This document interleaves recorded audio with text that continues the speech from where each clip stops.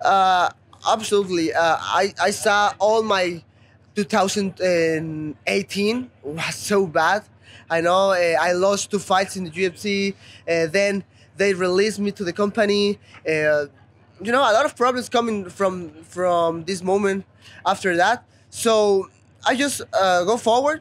I just go, go forward, uh, keep my, my, my road to the come back to the company, and I'm here. You know, I, right now I feel really happy. I feel in peace with my heart, with my life, because uh, I think this is my official return to the company. My last fight was a draw. To be honest, I feel I won that fight, but the judges uh, see another thing, saw another thing, and it's fine. So right now it's my official return to the company, and I'm, and I'm happy. What's been the difference this year? Because you've really been on a roll. Even that fight in LFA you had, you fought a really tough opponent, Maikel Perez. Um, has there been any change this year? Just hungry. I'm hungry again. When when I had that uh, kind of mom, bad moments in my life, was like, hey, really, I I deserve more in my life. You know, I deserve more.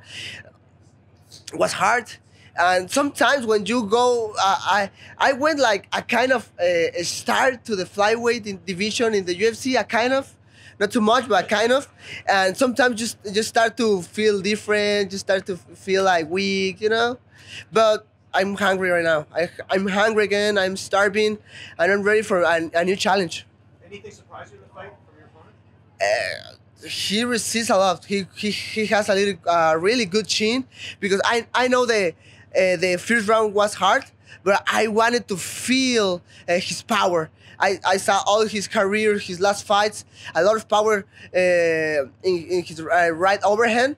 I, I tried to feel it, feel it a little bit. First round complicated, but second and third round I pushed all the pressure in my opponent in Kai, and yeah, uh, his resistance was amazing. To be honest, because I put a lot of good punches in his face. Any, any worries when it went to the scorecards at all, just with what happened last time? Uh, sorry again. I, were, were there any concerns about the, the uh, decision going your way or not? No, no, no. I'm happy right now. I, I, I think this is a, the correct decision. Yes. Well, just based after what happened last time. Because you, you know, you thought Yeah, you I know.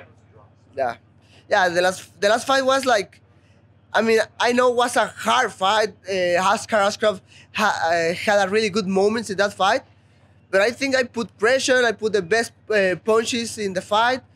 I don't know. Just I try to be focused in my next step and my next step, and watch me right now. I'm happy. I'm, I'm you here. say you're hungry and you're coming back. Is it, Yes. it changing the way that you're fighting? Are you approaching the fights differently when you're going in there? Maybe trying to be more exciting? Yeah, uh, yeah. I mean, not really, because I'm trying to be like this kind of Brandon Moreno in the in the past, but I I don't have the the the skills, the, the necessary skills. Uh, I meet a, a, a striking coach in, in Tijuana, uh, Drift Cortez. He's not here because he don't has a, a visa to cross the border, but he, he I evolved a lot in my stri- my stri- uh, striking in the last uh, one and a half years and I feel my comfortable in my stand up. You know, I feel my comfortable. I throw my jab, more punches, and I try to to change the the the, uh, the power of the of the combos. And I think that was a really uh, good uh, key to the victory to, today. How many how many fights do you have left on the contract? When you came back, how many did you sign for? I, I, I have I have two more, Two more? two more. I have two more. Yes. Brent, you look like a more confident course. yourself. Is this from age and experience, or have there been some changes made in your camp or emotionally? What? Why are you so much better now? it's, it's, it's weird because I'm really young. I'm uh, 26 years old, but I have too much time in this sport. You know, I have like uh, training 13 years in this sport, so I have a lot of experience, a lot of good moments in this sport. It's a combination of experience and you know, like hungry and start starving. I think it's a combination. You know, And you always have the good attitude and the smile. What do you? What do you? I love this. I uh, I love this moment. I, I love you, bro. I love you. I live this. I love this moment, of course, and and enjoy every single uh, second in in this moment. One of the things that changes here is you, you signed with new management. You were Jason House and Iridium Sports. How Yeah. much of a difference has that been in your career? Oh, that, that's what that was a really good move. You know, uh, I in in all that moment in 2018, I feel like I, I needed a, a, a new a new water in my life, a new new move, uh, Iridium Sports come with me and, and talk a little bit about my career. Hey, we can we can work together and make a little good and amazing things uh, together. Uh, I, I talked with my with my team. I talked with my family.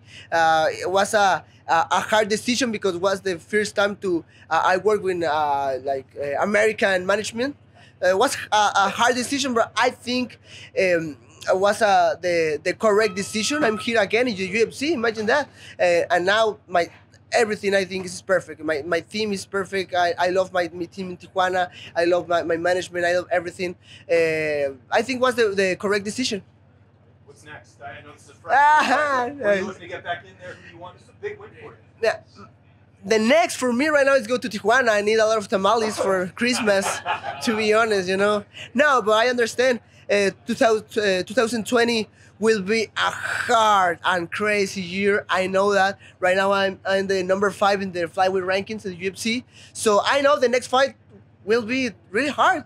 I don't know. Uh, I, I know for me, guys, is is free. You don't have a, a, a compromise in the future. So maybe Formiga, um, I don't know. I, I lost two times with Pantoja, who fought uh, against Matt Schnell the next week. But I don't know. To be honest, I'm, I'm not the fighter who say, hey, I want to fight with you because I hate you. No, no, never. But I know the next year will be really, really interesting for me. Was this one of the toughest guys you fought? He had a lot of potential, a lot of wins. Do you think he can continue to be successful? How did he race compared to the other guys uh, all the guys are amazing. All the guys are amazing.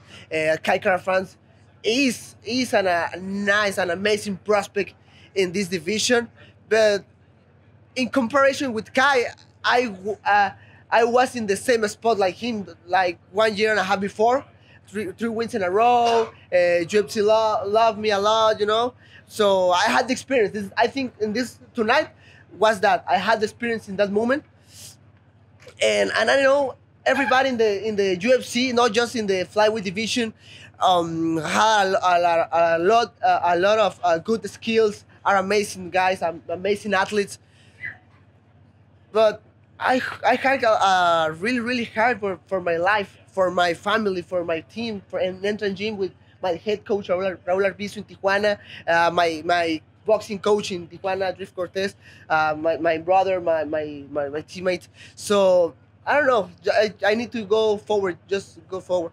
Did you say anything to him afterward or to his team? No, I, just respect. Just a lot of respect for for Kai. A lot of respect. Uh, I know he's amazing, and I know he's he's young like me, and had and he has a lot of future, a lot of fight uh, coming for him. So I have just respect for him.